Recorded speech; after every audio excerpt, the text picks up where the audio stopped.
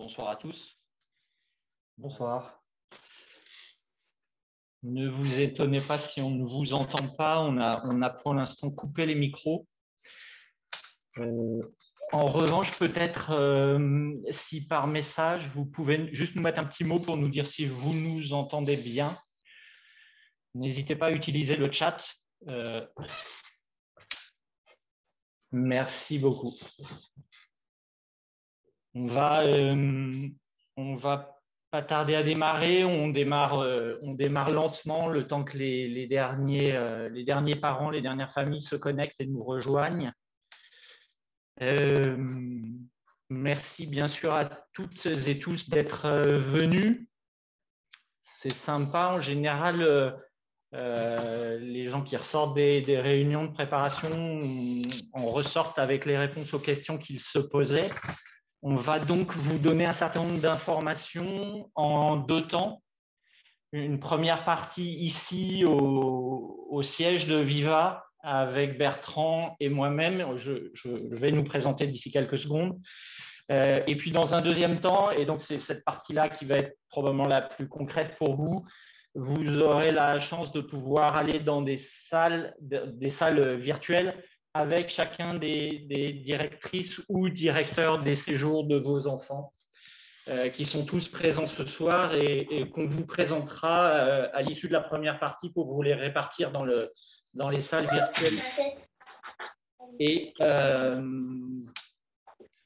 et, en, préambule, je les remercie toutes et tous d'avoir réussi à trouver le, créneau pour être, pour être disponible tout en même temps et, qu'on puisse tous vous parler le même soir à la même heure. Merci à vous, euh, à vous toutes et tous, donc aux familles, mais aussi aux équipes. Euh, une petite présentation donc. Euh, ici au siège, on va être deux à s'exprimer. Bertrand Muller, qui est notre responsable recrutement. S'il y a le moindre problème avec les équipes pendant le séjour, ce sera à lui qu'il faudra se plaindre. Euh, et il est aussi le, responsable de toute la permanence opérationnelle pendant les, séjours de, vacances. Et moi-même, je suis Olivier Dusselier et je dirige Viva depuis, quelques années maintenant. Très rapidement, euh, Viva existe depuis un peu plus d'une trentaine d'années. Notre métier, il est en grande majorité les séjours de vacances et des colos en France et à l'étranger, en tout cas en année normale, euh, à partir de 4 ans et jusqu'à 17 ans. Aujourd'hui, on fait plutôt de la France, voire exclusivement de la France, mais au moins on a la possibilité de travailler euh, à peu près à 65 ou 70 de ce que nous travaillons habituellement sur des vacances de février euh, classiques. Notre métier, c'est aussi de faire, et peut-être que certains d'entre vous y ont déjà euh, participé, ou en tout cas les, enfants, des journées récréatives, des sorties à la journée. Une troisième partie de notre métier, c'est de faire des classes transplantées, notamment dans un bâtiment qui nous appartient dans Lyon. Et enfin, dernière partie de notre métier, bah, ce, bâtiment dont nous sommes propriétaires, on y, accueille aussi des groupes, des familles, des associations, des, fêtes de, des fêtes de famille. Voilà, donc c'est quatre métiers, mais avec une majorité sur les séjours de vacances, février, Pâques, été, Toussaint et parfois Noël.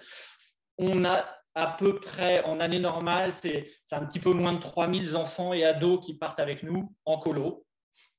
Et dans ces, dans ces enfants, il y a à peu près, enfants et jeunes, il y a à peu près, euh, on va dire 70% de, jeunes qui viennent euh, de comités socio-économiques ou d'anciens euh, comités d'entreprise et 30% qui viennent directement vers nous. Donc on a des, séjours avec une certaine, une certaine mixité, mais on a plutôt des enfants, enfin mixité à la fois géographique, de, de, milieux sociaux, de, régions différentes. et on a plutôt des atmosphères sympas, atmosphères d'autant plus sympas que une de nos clés de fonctionnement, c'est d'avoir un taux d'encadrement euh, très supérieur à ce que nous donne la législation. Euh, pour rappel, 4-5 ans, la législation, c'est d'avoir un animateur pour 8. Nous en avons deux pour 8, donc un pour 4. Quand on est sur la tranche d'âge 6 ans, 12 ans, la législation est d'avoir un animateur ou une animatrice pour 12 enfants et nous en avons deux pour 12, donc un pour 6.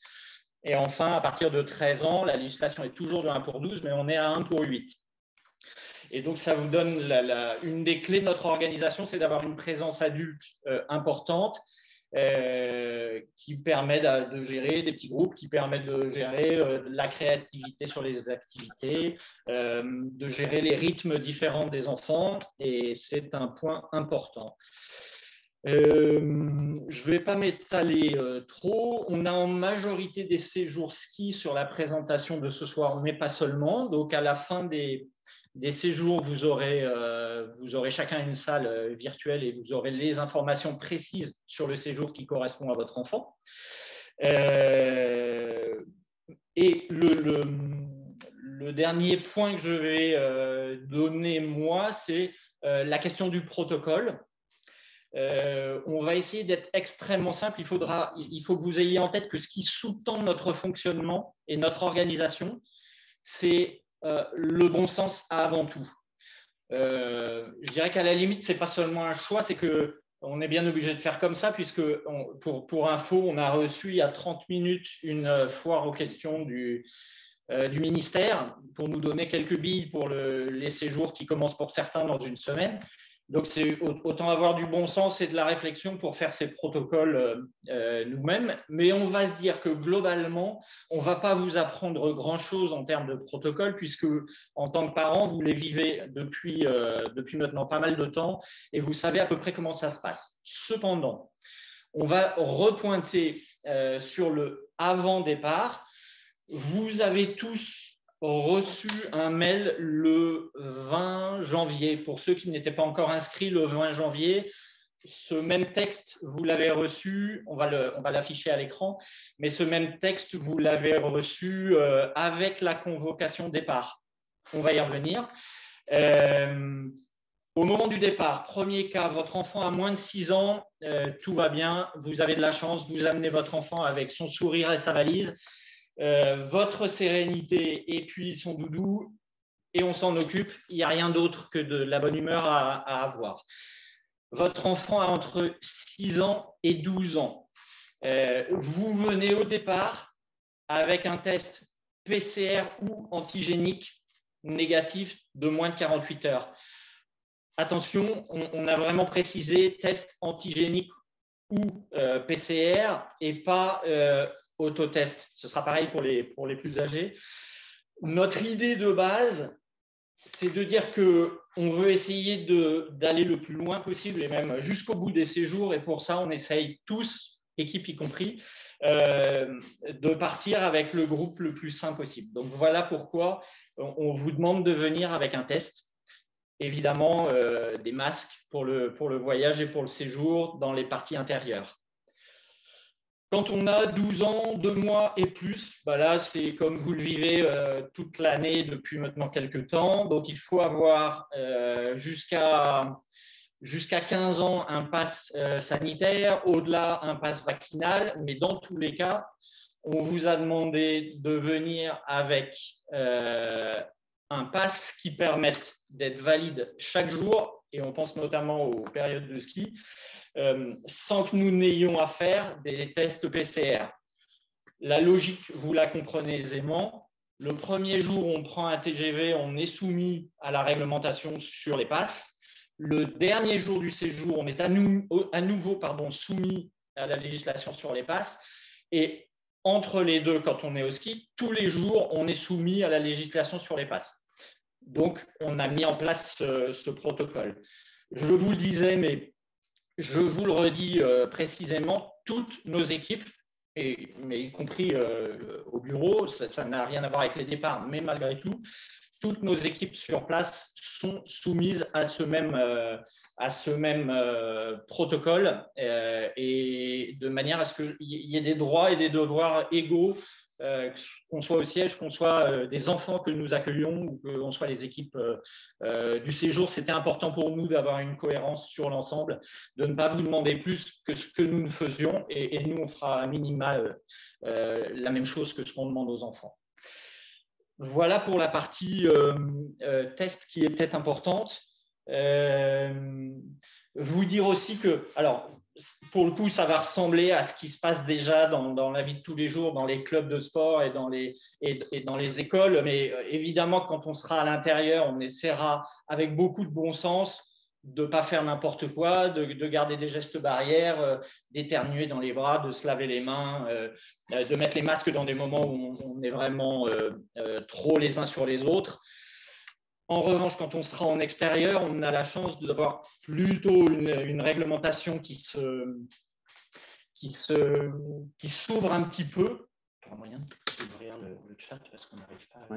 Euh, qui s'ouvre un petit peu et notamment sur les pistes de ski, on devrait assez rapidement avoir le droit de, de skier sans masque, euh, mais c'est l'idée d'être le maximum en, en extérieur. Vous dire aussi que malgré tout, malgré toutes ces précautions et malgré toute l'énergie qu'on va prendre à essayer d'avoir des choses extrêmement carrées, on n'est jamais à l'abri euh, du fait qu'il puisse y avoir un cas Covid sur un centre, ni sur nos équipes, ni sur le groupe enfant. Sur nos équipes, ça, ça a un coût, mais on a pris la décision de rajouter des animateurs et des animatrices en plus de nos taux d'encadrement que je vous citais tout à l'heure 20%, euh, c'est le chiffre d'animateurs qu'on a en plus et qui seront présents, qui vont partir en même temps que le groupe, pour que si jamais on est un membre de l'équipe adulte qui, euh, est malheureusement euh, Covid plus, on le sort et on a quand même des encadrants encore. C'est un, gros engagement, mais ça nous semble indispensable pour s'assurer que les séjours vont bien aller au bout vous dire aussi euh, que pour les tests euh, qui vont être présentés le jour du départ, on a vraiment besoin qu'ils soient en format imprimé papier, y compris si les jeunes les ont dans leur smartphone pour les plus âgés. Il faut que vous ayez au départ les tests euh, en format papier. Vous dire enfin que sur le plan de, pour en finir avec le Covid, que sur le plan du, Covid, si le matin du départ, votre enfant, et il est important de lui prendre la température, si votre enfant euh, présente des symptômes euh, Covid ou à plus de 38 degrés de température, ne l'amenez pas au départ. C'est vraiment important.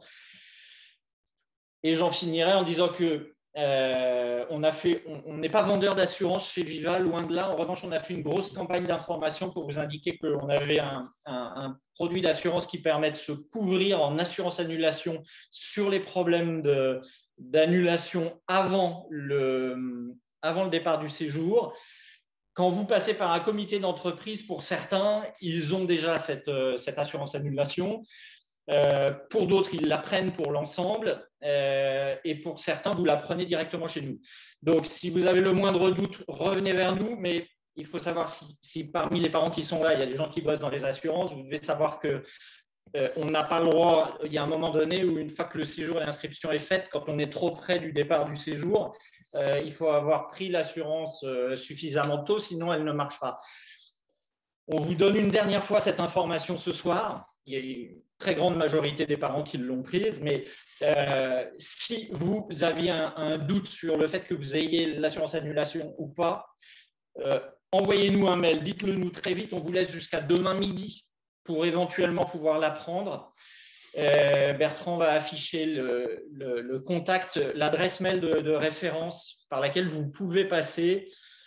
Elle, est maintenant surlignée en bleu, mais c'est info at vacances-viva.com. Notez cette adresse vous pouvez passer des infos. N'oubliez pas quand vous nous contactez sur cette adresse de noter le nom et le prénom de votre enfant et son séjour. C'est important pour nous, on reçoit beaucoup de mails et euh, parfois on est obligé d'aller rechercher par le nom du parent qui ne porte pas forcément le même nom que son adresse mail, ça peut être un peu compliqué. Donc pour plus d'efficacité, mettez le nom et le prénom. Par ailleurs, pendant cette réunion, on va essayer de répondre à plein de questions.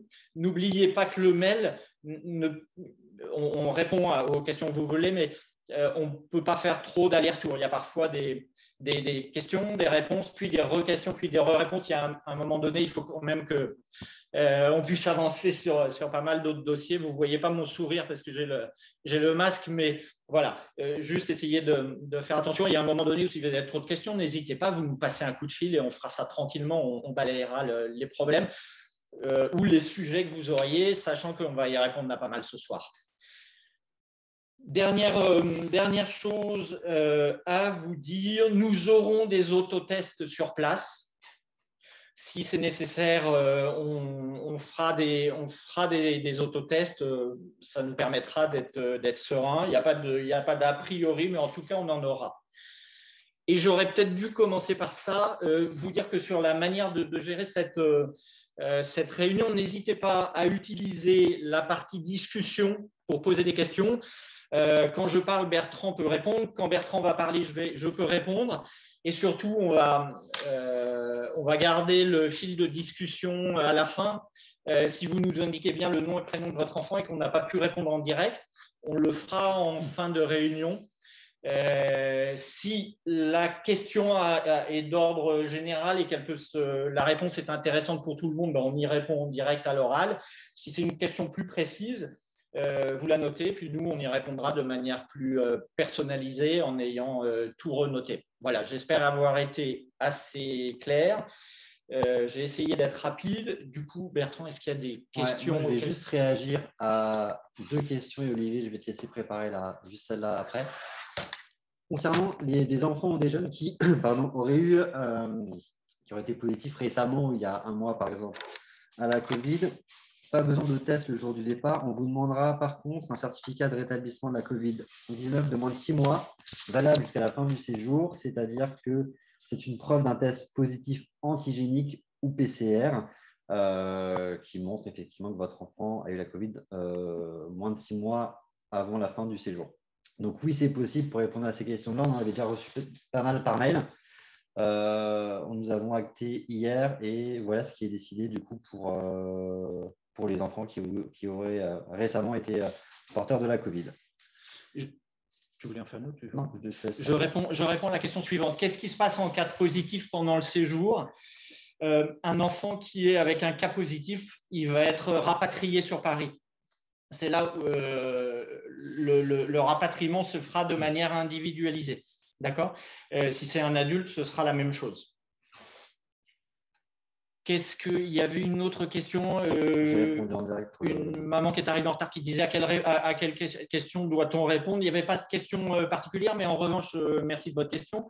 vous devez, Bertrand va le, va le, rebalayer, mais on a pu vous poser des questions sur niveau de ski, si vous faites ski, ski ou snowboard, il ne faut pas oublier de répondre. Euh, à part ça, c'est plutôt nous qui vous envoyons des documents. On va vous montrer lesquels et puis vous regarderez si vous les avez bien reçus. Si vous ne les avez pas reçus, euh, vous nous envoyez un petit mail à info vivacom L'adresse mail est notée plusieurs fois. Merci à Justine, euh, une de nos directrices, de la renoter. et d'ailleurs, n'hésitez pas, directeurs et directrices, si vous voyez des questions qui vous sont adresser, n'hésitez pas à, rentrer, à, répondre dans le chat euh, en même temps. Euh, mettez juste que vous êtes directeur centre pour que les gens comprennent bien. Et, puis voilà, donc euh, Bertrand, je te laisse faire. Juste avant d'enchaîner, pour redire une fois à tout le monde, concernant le certificat le rétablissement de la Covid, c'est le résultat d'un test positif antigénique ou PCR. Donc, ce n'est pas un certificat médical que vous devez demander pardon, à un médecin ou autre la preuve du test positif d'un PCR ou d'un antigénique montre bien ça et est valable six mois. Euh, pour ça, et mon enfant de plus de 12 ans doit-il être vacciné? Oui, il doit avoir un schéma vaccinal complet, à savoir du coup deux doses selon euh, les dates de, vaccin, mais pas de troisième dose parce qu'elle n'est pas obligatoire pour les, les mineurs pour le moment. Mais euh, oui, schéma vaccinal complet pour les plus de 12 ans, tout à fait et euh, assez simple. donc, dans, le, dans, les centres, les enfants porteront souvent le masque. Comme on l'a dit au début, on respectera le, protocole qu'on a euh, sur les accueils euh, de mineurs et on fera preuve de, enfin, les équipes feront preuve de bon sens, à savoir effectivement dans les espaces où on se mélange, où on se rassemble, oui, le masque sera obligatoire pour les plus de 6 ans, effectivement. Euh, une question qui, est notée, mon enfant de plus de 12 ans doit-il être vacciné? Oui, absolument. Ça faisait, enfin, il, doit avoir un passe vaccinal, passe sanitaire, pardon, référence au mail reçu le 20 janvier et euh, reçu en même temps que la convocation départ. Ces indications-là sont très claires, a priori, sur notre, euh, sur notre courrier. Euh, il y a des questions sur les rapatriements. Je pourrais vous dire quel est l'idéal, mais soyons clairs, s'il y en a beaucoup, c'est les assurances et les, les, les, les, équipes médicales qui vont décider de comment on fait. Donc, le rapatriement, euh, si vous avez euh, cinq enfants qui doivent, rentrer en euh, VSL, ils ne rentreront pas en transport collectif, ils n'ont pas le droit.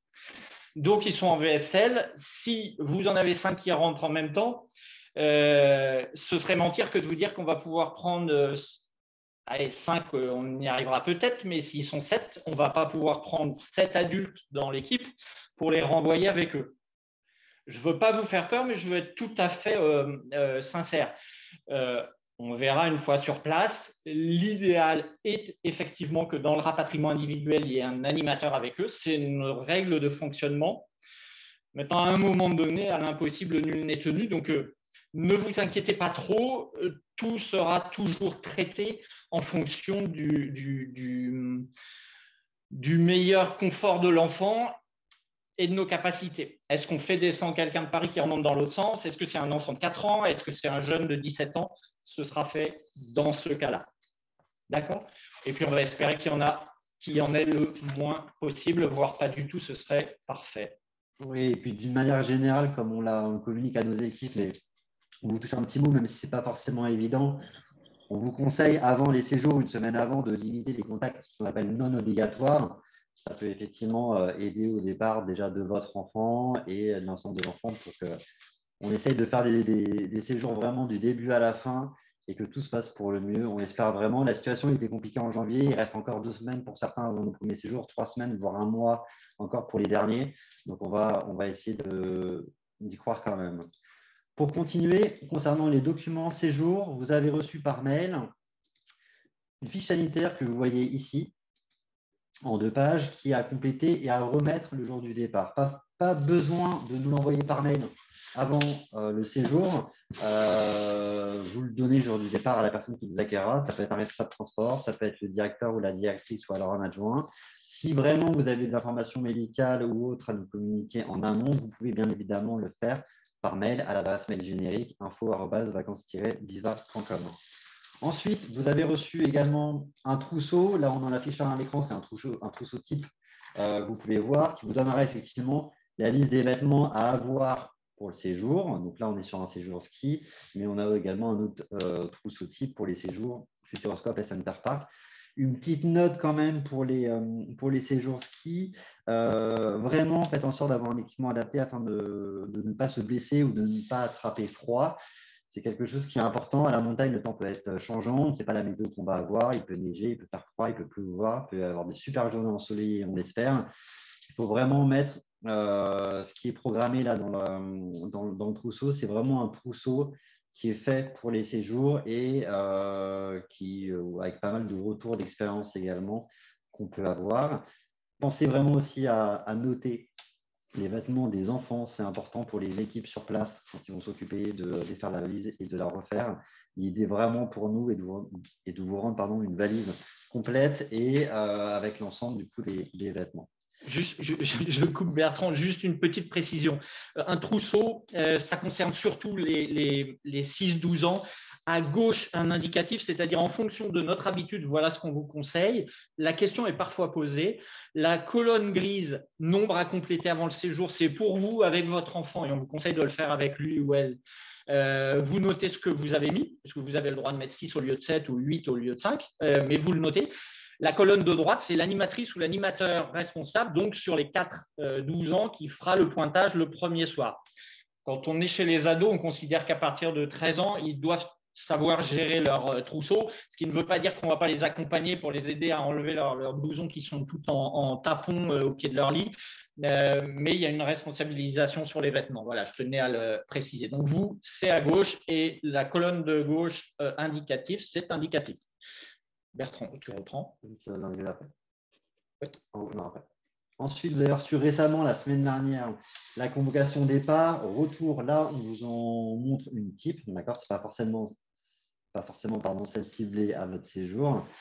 Vous avez des informations, effectivement, de points de rendez-vous. Euh, alors, on a principalement des départs de Paris. Il y a également des, parents qui déposent directement sur le centre. Il y a les informations dessus. Et d'autres enfants peuvent avoir des, des départs d'autres villes que Paris. Pour cela, ce sont des convocations personnalisées que vous avez reçues également par mail. Je mets juste euh, une petite info pour certains jeunes qui voyageront seuls à destination de Paris pour être récupérés par un animateur. Tout ce qui est billet train euh, seront envoyés par notre collègue Mathieu qui s'occupera de ça avant ces jours. Ne vous inquiétez pas pour ça. Sur la convocation, vous avez également les contacts du centre. Vous avez un contact courrier si vous souhaitez écrire un courrier et l'envoyer par la poste à votre enfant. Vous avez également une adresse mail euh, où vous pouvez écrire un mot pour votre enfant. Les mails sont distribués une fois par jour.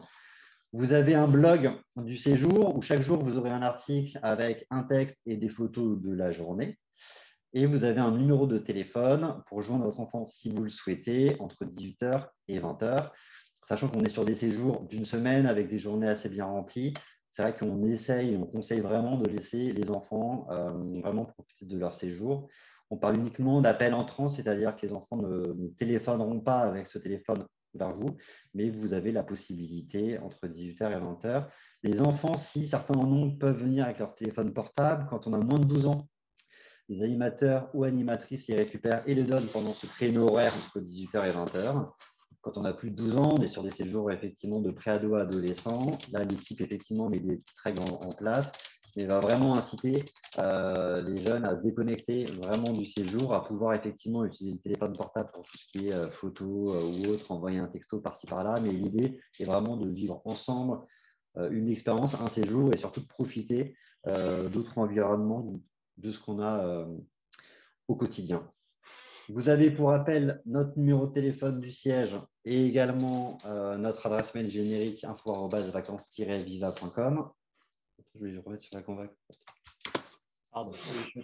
Et vous avez un numéro de permanence ici, 24 heures sur 24 en cas d'urgence. Il est noté en cas d'urgence, d'accord? C'est vraiment un numéro que vous pouvez utiliser. Je prends un exemple comme ça. Si vraiment vous sentez que vous allez être en retard sur le départ ou sur le retour, vous pouvez utiliser sur le numéro de téléphone. Il y aura toujours une personne, euh, un permanent qui vous répondra. Et on, on indique vraiment, il est vraiment en cas d'urgence et pas utiliser pour euh, passer un coup de fil à son enfant, sachant que euh, la personne qui répondra ne sera pas sur le centre avec votre enfant. Voilà pour ça. Également, le jour du départ, euh, si vous en avez, s'il y a des traitements en cours, des médicaments, des ordonnances, c'est également le moment où vous pourrez donner et communiquer ces informations à la personne qui vous accueillera.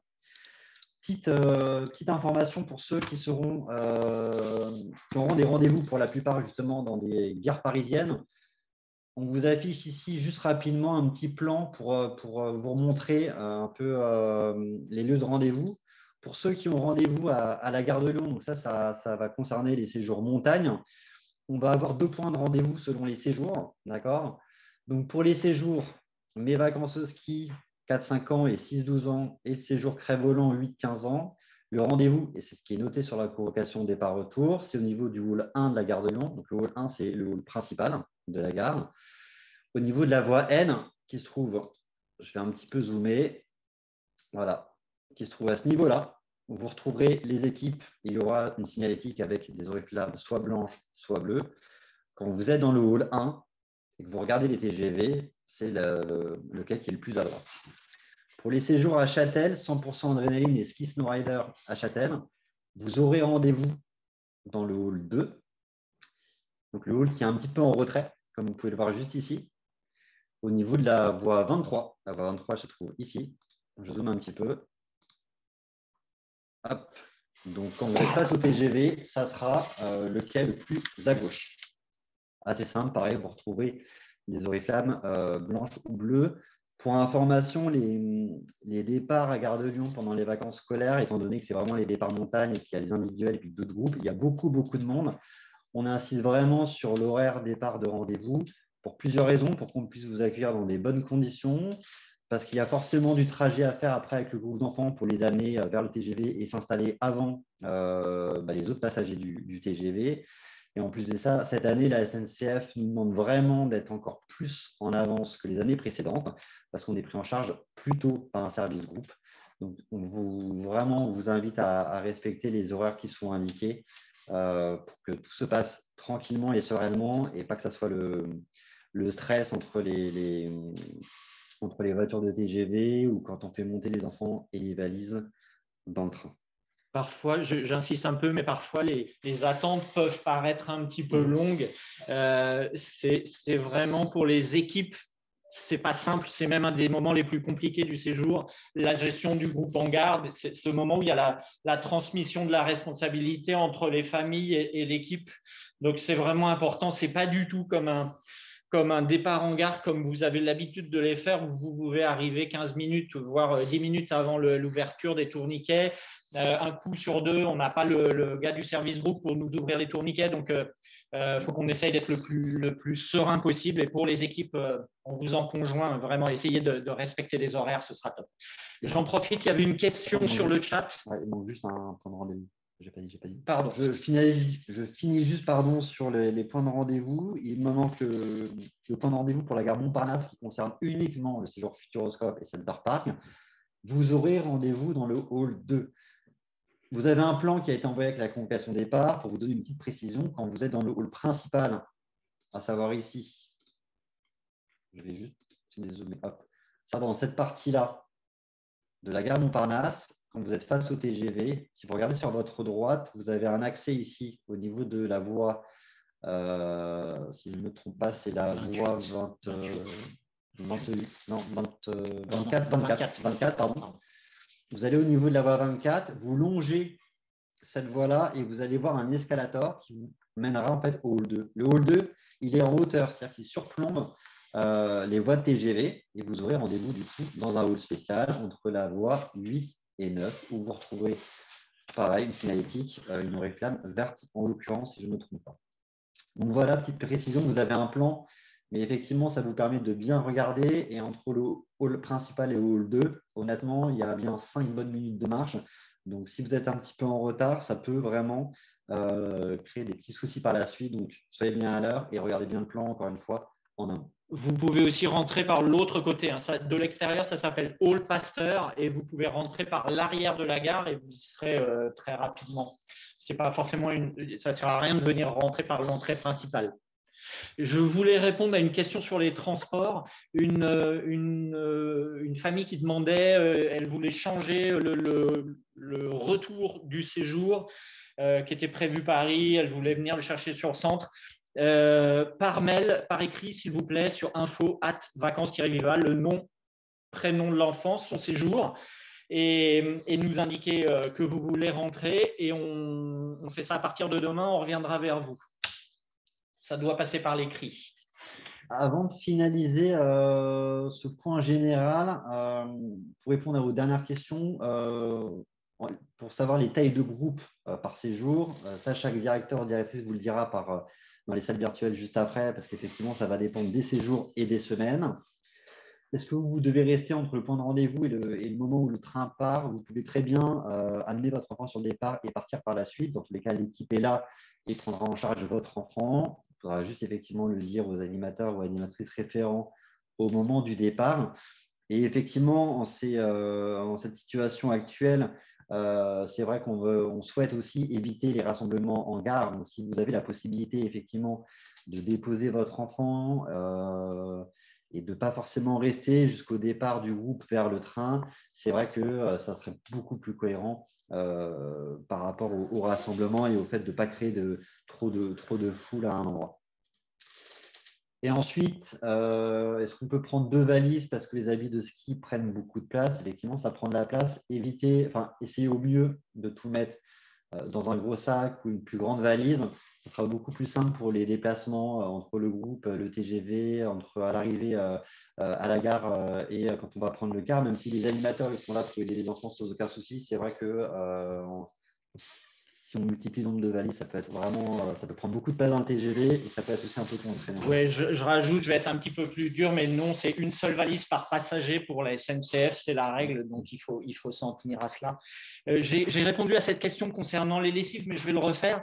Euh, non, pas de lessive pendant le séjour, sauf en cas d'urgence. Une urgence, ça pourrait être un, un petit bonhomme euh, qui a fait pipi dans sa combinaison et auquel cas on ne va pas le laisser aller skier le lendemain avec la même combinaison sans l'avoir nettoyé. Mais euh, c'est pour ça que nos trousseaux sont construits pour qu'on puisse tenir la semaine euh, sans laver le linge.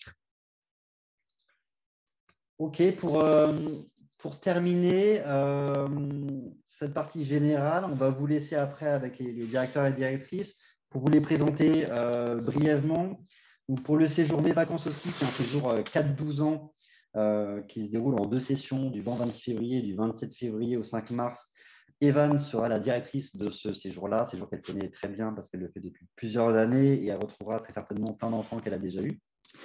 Nous avons un séjour très volant qui se déroulera, qui aura trois sessions pendant les vacances d'hiver, une session du 13 au 19 février avec comme directrice Célia qui n'a pas pu être présente pour cette réunion pour des raisons personnelles, mais c'est Justine, qui sera directrice des deux sessions suivantes, du 20 au 27 février, du, 20 au 26 février et du 27 février au 5 mars, qui, euh, qui sera présente pour répondre aussi à vos questions, étant donné que le séjour est similaire sur les trois sessions qu'elle connaît très bien, parce qu'elle y a déjà été il y a deux ans. Ensuite, sur Châtel, pour la semaine du 13 au 19 février, pour 100% adrénaline et ski snowrider, euh, il y aura une salle avec Magali, qui euh, dirigera cette session-là et qui travaille avec nous depuis pas mal de temps maintenant et qui est très heureuse, je la vois à l'écran, de, vous retrouver, de retrouver les jeunes cet, euh, cet hiver. Sur la session d'après, du 20 au 26 février, on créera une salle spécifique euh, avec Thomas qui dirigera cette session-là. Thomas qui nous a rejoint l'été dernier pour, pour, un séjour ado et qui du coup dirigera la semaine du 20 au 26 février. Mis Thomas, si tu arrives à mettre ta caméra, qu'on voit si c'est possible, ce sera bien. Et ensuite, pour terminer, le séjour Futuroscope et Center Park sera avec Pauline, euh, qui, pareil, dirige des séjours avec nous depuis quelques années maintenant et qui a déjà été durant les vacances de la Toussaint l'année dernière. Donc, euh, séjour qu'elle connaît bien. D'une manière générale, euh, toutes nos équipes sont prêtes, sont là, sont constituées d'animateurs qui travaillent régulièrement avec nous selon les vacances scolaires, mais aussi les nouveaux qu'on recrute à chaque fois. Euh, les réunions ont eu lieu et euh, pour les animateurs qui encadreront des activités ski ou snowboard, chaque personne sera formée sur une euh, formation vidéo qui aura lieu cette semaine et la semaine prochaine afin d'avoir toutes les dernières informations. Voilà pour ça. Ce que je vais faire maintenant, pendant qu'Olivier va finaliser, ça me laissera le temps. Je vais créer donc plusieurs salles. je vais en créer exactement cinq il y aura une salle qui s'appellera Mes vacances au ski, une salle qui s'appellera Crève-Volant, une salle qui s'appellera Châtel Magali. Donc Magali, pour rappel, elle dirige le séjour du 13 au 19 février. Une salle qui s'appellera Châtel Thomas. Thomas, pour rappel, dirige du 20 au 26 février. Et une salle qui s'appellera Futuroscope Center Park. À partir de là, vous pourrez vous-même rejoindre ces salles manuellement si vous rencontrez des difficultés, au fur et à mesure, via le chat, on pourra vous, euh, vous mettre dans ces salles. Et là, vous retrouverez chaque directeur ou directrice. Et petit rappel pour eux, pensez juste à enregistrer du coup votre réunion. Comme ça, on pourra le garder en lien. Le, séjour Châtel, pour rappel, c'est 100% adrénaline ou ski et snowrider. À chaque fois des séjours 14-17. Euh, répondre euh, concernant la question sur le Covid et euh, est-ce que tout le groupe est testé? Euh, Très honnêtement, on n'est pas capable de vous répondre en totalité parce qu'il y a un moment donné où c'est l'ARS qui prend la main. en général, nous, on essaiera de, tester, puis c'est globalement le dogme qui est en train d'arriver, c'est qu'on essaye d'isoler les cas contacts certains euh, et, c'est ceux-là éventuellement qui sont auto-testés et pas, et pas testés en, PCR ou en antigénique. Mais Encore une fois, il faudra qu'on ait la mise à jour précise du protocole, on ne l'a pas tout à fait. Et par ailleurs, euh, sur les plus de 12 ans qui notamment seront euh, avec un pass vaccinal, ça allège énormément les questions de test, sachez-le. Pour ce qui est de, la question des affaires de ski dans la valise d'un, enfin, une fratrie et, je, répartis entre les deux valises, de tout temps c'est arrivé. Euh, si je vous réponds en tant qu'animateur, euh, on préfère éviter parce que s'ils ne sont pas dans la même chambre, ça veut dire qu'il faut faire un, trousseau et regarder les affaires en en sortant. Ce n'est pas super simple pour nos équipes. Donc, si je réponds en protégeant nos équipes, s'il vous plaît, essayez de ne pas le faire. Maintenant, ça arrive parfois et on comprend parfois que dans la famille, il y a deux valises et pas forcément de la même taille. Si vous ne pouvez faire que comme ça, vous vous ferez comme ça. Euh, oui, évitez, évitez s'il vous plaît. Euh, petites astuces sur les valises. Euh, les blousons de ski qui sont assez épais, mettez-leur sur le dos. S'ils emmènent euh, s'ils ont des, moon boots, euh, c'est pas forcément amusant, mais ils font le voyage avec les moon boots au pied, ça évitera de charger la, valise. Vous avez des petites astuces comme ça. Euh, s'il y en a un de, vos enfants qui part avec son casque, ils seront tous équipés de casque à la location, mais s'il veut partir avec son casque, vous lui mettez dans un petit sac à dos sur le dos. Enfin voilà, vous pouvez avoir quelques petites astuces comme ça. Euh, et puis vous en profitez dans le casque pour euh, glisser, euh, glisser des chaussettes et des choses comme ça. Mais essayez de chercher ces, petites astuces-là. Si on peut avoir un enfant, une valise, c'est quand même idéal pour, pour nos équipes. Si sur une fratrie c'est mélangé, on s'y adaptera. On espère qu'on a répondu à peu près toutes vos questions et puis Bertrand va donc basculer. Si vous n'avez pas compris que vous êtes perdu, restez avec nous, on vous, réorientera, il n'y a pas d'inquiétude et on vous laisse aux, mains bienveillantes de, nos équipes vous dire, parce que je ne crois pas qu'on l'ait dit, mais toutes, les directrices et directeurs d'équipe qui, qui, vont vous recevoir dans les salles euh, travaillent avec nous depuis euh, certains très longtemps. Euh, d'autres euh, moins longtemps, mais ont tous déjà fait une ou plusieurs saisons avec nous, euh, et plutôt plusieurs, et, ça vous assure d'une connexion, parfaite entre eux et nous. Ce que nous disons nous, ils pourraient vous le dire eux, et ce qu'ils vous diront eux, nous pourrions vous le dire. Si jamais ils ont une question un peu plus précise, ne vous inquiétez pas, ils, ils reviendront vers nous, on vous apportera la réponse, c'est ce à quoi on s'engage de leur côté et de notre côté. On vous souhaite une belle continuation de réunion et puis à toutes et tous là, les directeurs et directrices, soyez forts. Très bonne soirée à tous. Je vais ouvrir